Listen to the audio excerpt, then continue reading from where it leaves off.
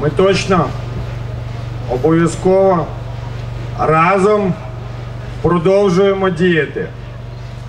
Ні Порошенко, ні народні депутати, які сьогодні відкинули більшість наших вимог, від нас не втечуть.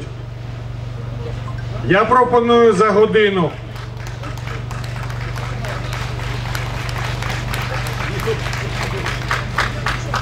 У 20.15 йти до президента України, там, де його офіс, щоб він обов'язково виконав свою президентську справу. Вніс законопроект про антикорупційний суд. У 20.15 шикуємося біля табору і рушаємо до президента. Я знаю, що нинішній президент часто діє так само, як попередній. Він думає, що людей можна обманути. Він думає, що люди втомляться. Він думає, що люди замучуються стояти. Я хочу сказати нинішньому президенту України: людей не можна обманути. Люди не втомляться. І ми з вами не будемо стояти. Сьогодні ми підемо до нього в офіс. Якщо він не зробить те, що він має зробити як президент, на що йому вже Венеціанська комісія вказує з Венеції, тоді ми підемо до нього додому. Тоді ми підемо там, де в нього бізнес.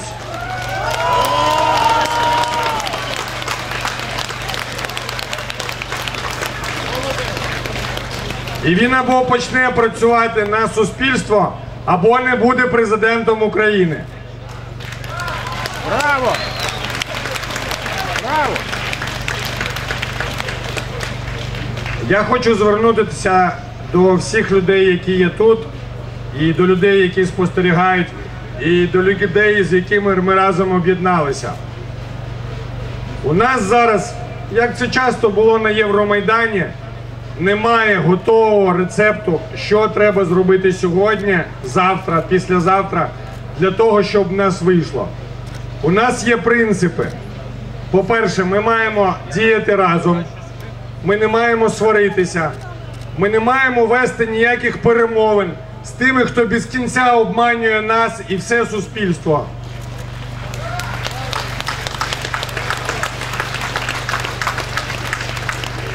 Перемовини з Януковичем, ви пам'ятаєте, чим закінчувалися? Він тягнув час, збирав бандитів, збирав тітушок, збирав спецпризначенців і кидав їх на людей. Перемовини з Януковичем, врешті-решт, закінчилися розстрілом Небесної Сотні. Тому ми маємо обов'язково з вами діяти рішуче і діяти злагоджено. З іншого боку, на відміну від часів Євромайдану, ми з вами у війні за незалежність. Ворог вже на нашій землі. Ворог думає про те, що будь-який неспокій в столиці України, будь-які потрясіння всередині української держави допоможуть йому захопити ще більше української землі. Я скажу більше. Я думаю, Путін піде захищати Порошенка, бо Порошенко йому вигідний.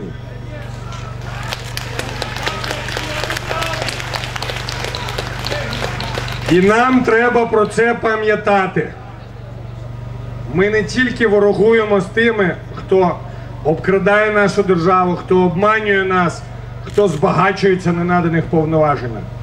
Наш головний ворог це путінська Росія, яка хоче знищити нашу незалежність, знову зробити нас робами, знову принести на українську землю горе, голодомори, війни і страждання. Тому разом з рішучістю, разом зі злагодженістю наших дій ми маємо з вами бути мудрими. Ми маємо з вами розуміти, чим закінчиться та чи інша пропозиція, те чи інше рішення. Нам з вами треба пройти по лезу ножа, не скотитися в насильство всі проти всіх, коли української держави просто не буде навіть в Києві. Але і не стояти, не світити ліхтариками, не думати, що воно собою зробиться за нас з вами. Я впевнений, маючи таку кількість однодумців, маючи таку кількість однодумців, з боку організаторів, з боку тих людей, які за нами дивляться і спостерігають, ми обов'язково це зробимо. Ми сьогодні проведемо нараду з польовими командирами в таборі. Вирішимо, як організувати табор по військовому. Ми обов'язково.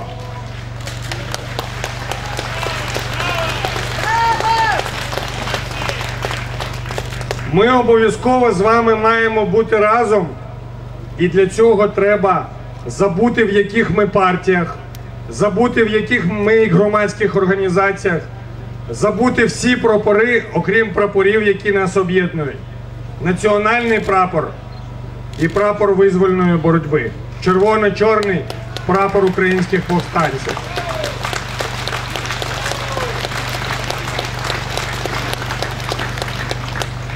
Останнє хочу сказати тим людям, які спостерігають за нами і сумніваються. Про нас дуже багато розповідають, що ми знову хочемо всіх обманути.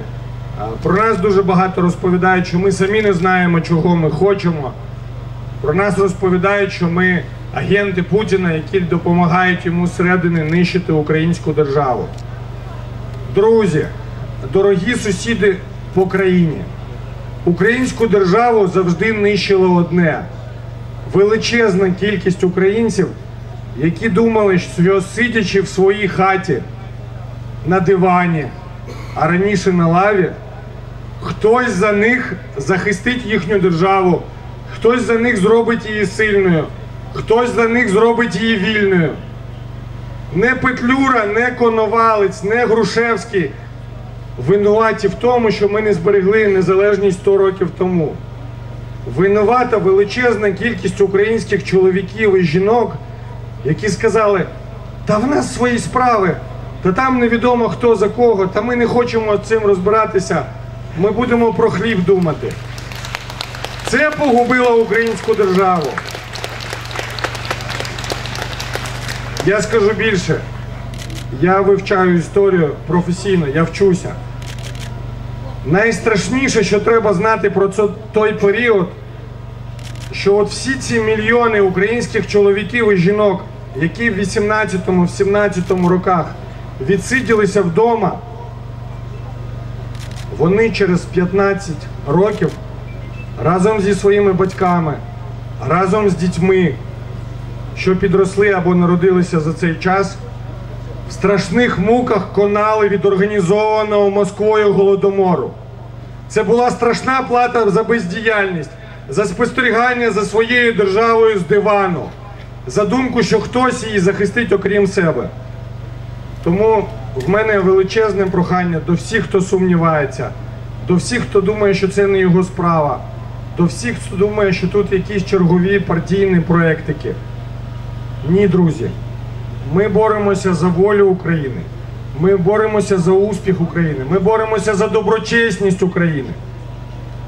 Я маю один хороший приклад, яким би я хотів завершити. Я думаю, що сьогодні найбільш далекоглядна людина з народних депутатів не була в Верховній Раді. Я думаю, що сьогодні найбільш далекоглядною людиною був Розенблат. Він правильно відчув, що пора тікати.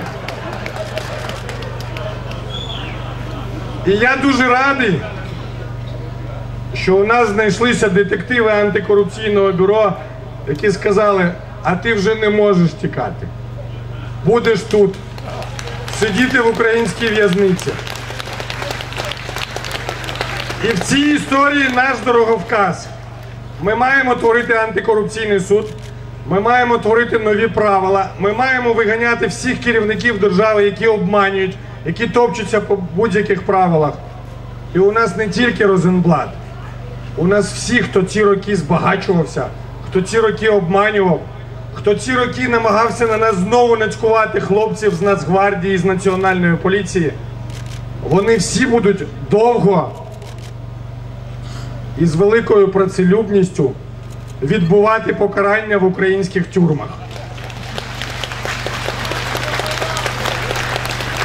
А ми з вами жити в успішній, багатій, сильній Україні, якій буде пишатися ми, якими буде пишатися наші діти і весь світ, якою буде пишатися.